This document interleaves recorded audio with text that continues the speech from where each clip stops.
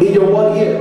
Yeah, um, I can't hear the frequency of people speaking. You cannot hear the frequency of people speaking in your right ear. Yes. Stretch your hands forth and pray. A supernatural miracle. I feel faith in this place. Come on, pray.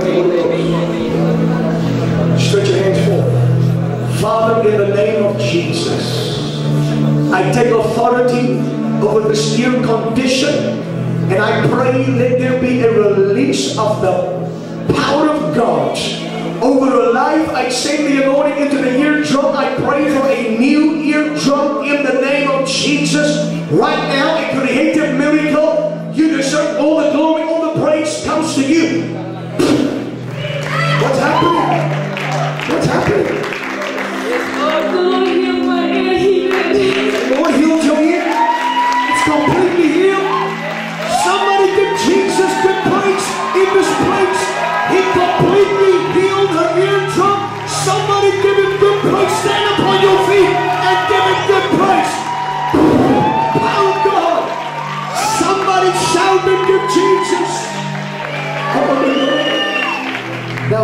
What just happened to you?